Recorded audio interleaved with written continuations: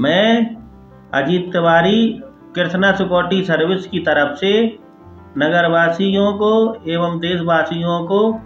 गोवर्धन पूजा की हार्दिक शुभकामनाएं देता हूँ